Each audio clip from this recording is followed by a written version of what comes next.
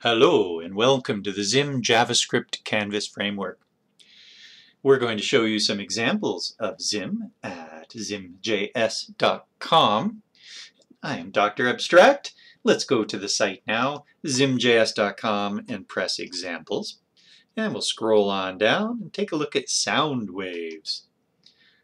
Ooh, neat. Yeah, do you recognize this? Do you remember these?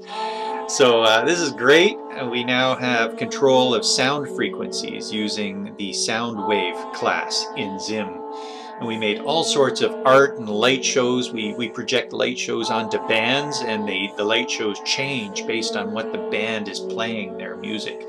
So that is super duper to have here at Zim. And uh, we were taking a look at the examples at zimjs.com. I'm Dr. Abstract. Have a great day. Ciao.